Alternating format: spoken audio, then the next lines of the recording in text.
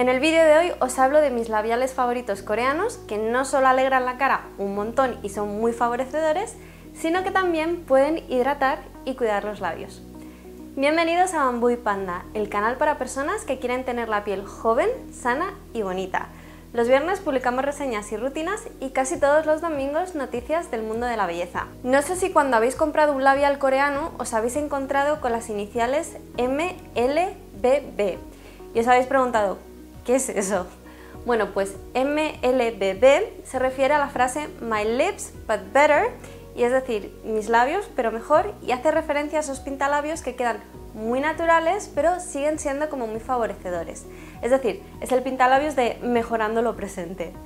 Bueno, pues es que el maquillaje coreano suele ser bastante sencillo y tiende a ser bastante natural, excepto la base que suele ser un poco más clara que el tono natural de la piel de las coreanas. Bueno, pues en el maquillaje coreano se usa una buena base o BB cream que cubra las imperfecciones de la piel, se añade una sombra de ojos irisada normalmente o en tonos dorados o coral, pero pueden ser más colores, y se añade unos labios jugosos, en, puede ser en rojo, en rosa o en naranja, y a veces se completa con un colorete y una máscara de pestañas. Como veis, en el maquillaje coreano los labios juegan un papel muy importante y si vais a Corea veréis que todas las chicas llevan los labios pintados con un color súper intenso en los tonos que os he dicho, o rojo, o naranja o rosa.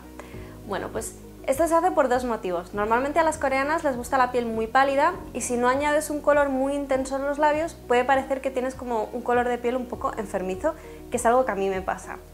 De hecho, si no me pinto los labios parece que tengo mala cara y la gente me pregunta si estoy bien. Bueno, pues además, em, si usan colores muy intensos como el rojo en los labios, las coreanas pueden acentuar esa palidez de la piel que a ellas tanto les gusta. Bueno, pues además los colores de maquillaje que suelen elegir son como muy juveniles y naturales, nada dramático, por lo que suelen ser bastante favorecedores. De hecho, en este vídeo os voy a enseñar varias opciones de labiales y os tengo que advertir que algunas son más hidratantes que otras.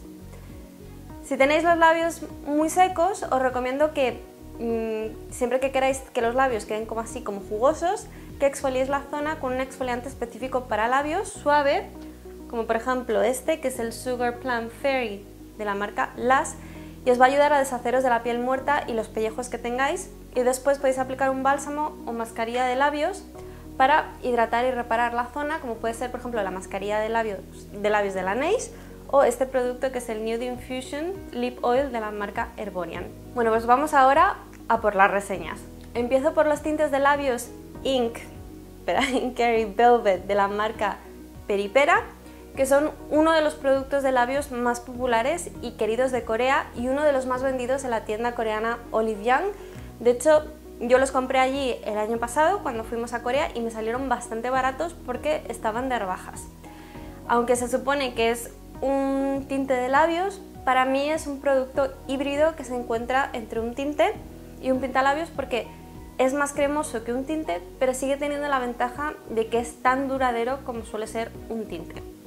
Bueno, pues me gusta que es mucho más denso y cremoso, que, como os decía, que un tinte tradicional, porque una de las cosas que yo más odio de los tintes es que al ser muy líquidos acaban manchándote los dientes y parece que alguien te ha pegado un puñetazo a la boca o que te está sangrando la boca y encima como llevo ortodoncia eh, siempre se mancha y es muy molesto. Bueno, pues lo malo de este producto es que no es la opción más hidratante que os voy a enseñar y es que aunque cuando lo aplicas inmediatamente es verdad que parece bastante hidratante y como muy cremoso, después de llevarlo un tiempo, tipo a la hora o así, seca mucho los labios. Así que si lo usáis, llevad con vosotros por si acaso alguna vaselina o mascarilla de labios porque mm, es verdad que seca los labios después de un rato. Dentro de esta línea encontráis 15 colores que todos son bastante favorecedores y van desde el rojo al rosa y el naranja, pero siempre con varios tonos. Yo compré el de color rojo, que es el Sold Out Red, que es el número 6, y el rosado, que es el Twinkle Pinkism, Pinkism del número 10. Personalmente prefiero el rojo al rosa porque me da la sensación de que el rosado queda como muy empolvado y a mí no me favorece mucho y además de que me da la sensación de que al ser más claro resalta como los pellejos de los labios. Y este producto se aplica con un pincel que viene en el propio envase y como os decía, el labial tiene una textura mm, como muy cremosa y ligera y muy agradable y deja un acabado mate. La marca recomienda aplicarlo primero en el centro y después extenderlo por los laterales. Bueno, pues me gusta mucho que este producto no es nada pegajoso, pero personalmente me gustaría que fuese más hidratante. Y una de las mejores cosas que tiene este producto es que se puede usar también como colorete. Pero tened cuidado y no lo apliquéis directamente sobre la base de maquillaje o la BB Cream porque va a ensuciar el cepillo y va a modificar el tono del producto. Lo mejor es aplicarlo en la mano, que esté limpia, y luego en la mejilla. Y os digo, si lo aplicáis directamente encima del maquillaje, mm, estropearéis el producto y os lo digo por experiencia. Bueno, pues el envase me encanta, es como una pequeña botellita y es muy práctico, por ejemplo, para llevar en el bolso y un inconveniente puede ser que tiene una fragancia artificial como muy fuerte que puede resultar un poco molesta. Personalmente yo prefiero los, productos de labios que no saben a nada porque si no luego tienes ahí ese gusto raro, no me gusta. El segundo producto del que os quiero hablar es el Air Lipstick de la marca coreana McQueen. Aquí no pone que sea ese nombre, pero en la caja sí. Y con este pintalabios me pasa igual que con el de Peripera y es que encuentro que no es tan hidratante como otros y si tienes los labios secos, pues acentúa esto todavía más. Así que si tenéis los labios secos, pues mejor evitadlo. Y dentro de esta línea de McQueen hay cinco tonos, entre los que hay mucho nude, que empieza a ser algo más común en Corea. Mm, antes no era tan fácil encontrar nude, pero ahora sí. Y el tono que tengo es el Coral Pink, creo que es el número 3. Y para mí este producto es como un poco mágico porque cuando lo aplicas tiene un tono tipo nude pero luego se vuelve un rosa como un pelín más intenso y de hecho si os fijáis, eh, bueno, si lo podréis ver, la barra está como cambiando de color en la punta.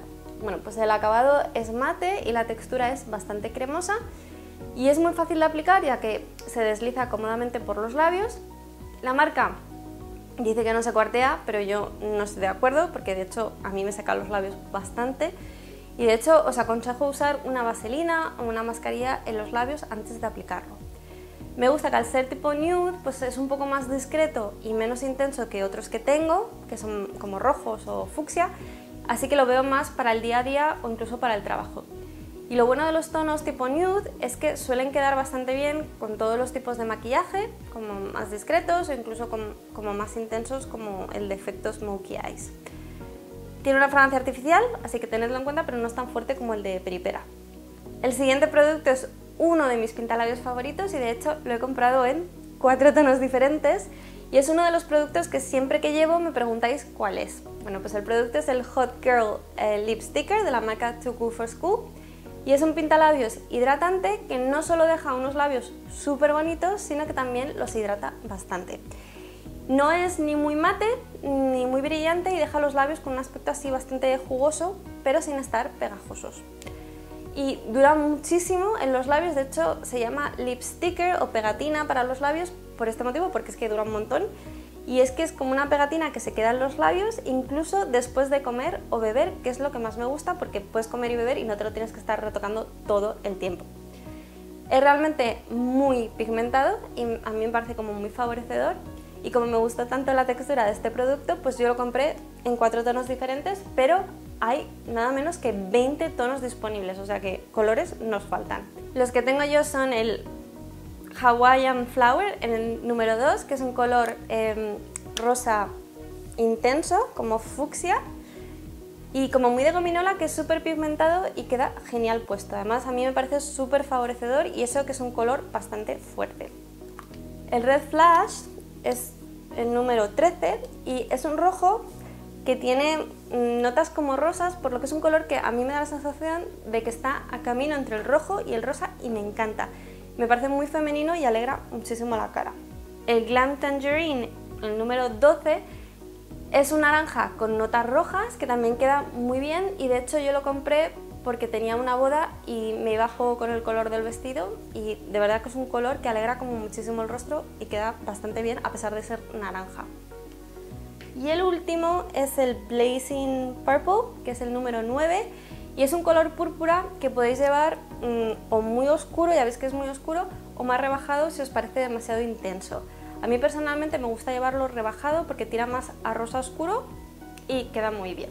Aunque todos me gustan de maneras diferentes, mis favoritos y los que mejor me quedan, yo creo, son sin duda el rosa y el rojo. Y una cosa que me encanta es el diseño del envase de este producto, que es como de, de cuadros. Y de hecho me recuerda un poco a los vestidos que llevaban en la película de Clueless, o creo que se llamaba Fuera de Onda, y casi como muy noventero. Una cosa curiosa de estos pintalabios es que son bastante pequeños, casi como de juguete, me recuerda a los pintalabios que tenía yo de pequeña. Si el tamaño habitual de un pintalabios son como de 3,5 gramos a 5 gramos, el tamaño de este pintalabios es de 2,5, por lo que os digo que no solo se ve más pequeño, sino que es más pequeño.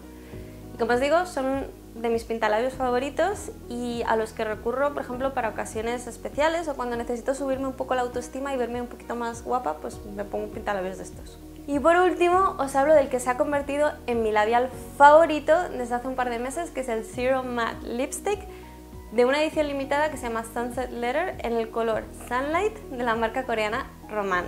Y si no conocéis la marca Roman, es una marca de maquillaje creada por, eh, creo que se llama Serum Min, y es una blogger coreana de belleza que, que está vendiendo esta marca como churros en Corea y mm, especialmente los pintalabios.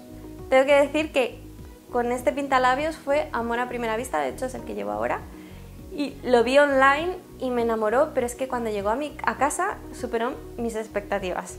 Bueno, pues el color es impresionante, si lo veis es súper, súper rojo y muy favorecedor. De hecho es el típico producto que me da pena usar porque no lo quiero estropear, es que es súper bonito. Y al igual que con el de Too Cool for School, siempre que llevo este pintalabios en los vídeos hay alguien que me pregunta qué, labial estoy usando. Bueno, pues el que llevo ahora es este. Bueno, y como os decía, este labial forma parte de una edición limitada que viene en cinco colores diferentes e incluye tonos cálidos y fríos. Y yo tengo que decir que me ha gustado tanto este producto que decidí seguir probando más de la marca y he comprado un set de tres tintes en tonos fríos de Román y estaba rebajado en Jestyle, así que aproveché y dije, como me ha gustado este, pues voy a probar más. Y por supuesto os lo enseñaré cuando me llegue. Bueno, pues aunque el acabado es mate, ya veis, em, no seca los labios y no acentúa esa sequedad. Y para aquellas personas a las que no os gusten los productos así como perfumados, tengo que decir que no tiene fragancia, así que a mí me gusta eso, que no, ¿sabes? no ese sabor raro de un pintalabios. Y lo que más me gusta de este pintalabios es que deja los labios suaves, ya que es bastante cremoso y, e hidratante. Se desliza fácil y suavemente por los labios y es como si no llevases nada, no es de estos pintalabios que se nota ahí como pesado. Dura muchísimo y deja los labios con un aspecto como el de las divas de las películas antiguas de Hollywood, que es como un rojo súper intenso, que a mí me parece como muy femenino y sofisticado, no sé, me parece un, color súper elegante. Creo que en otras circunstancias me, lo pondría muchísimo más, pero es verdad que con la pandemia pues me da un poco de pereza maquillarme porque acabas manchando la mascarilla y nadie te ve los labios, así que no merece la pena, ¿no? Pero me parece el pintalabios, por ejemplo, ideal para ocasiones especiales o incluso, no sé, si para el trabajo si os gusta llevar los labios muy marcados, me parece súper elegante.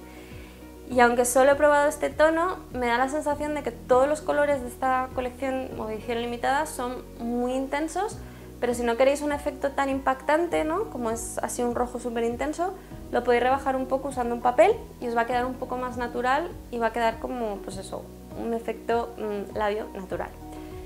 Em, os digo, es un pentalabio realmente de 10 y ya os digo que se ha convertido, que se ha convertido en mi favorito. Si tenéis cualquier duda, sugerencia o comentario, la podéis escribir más abajo y si esta información os ha resultado útil, por favor, dad me gusta y compartirlo con familia y amigos.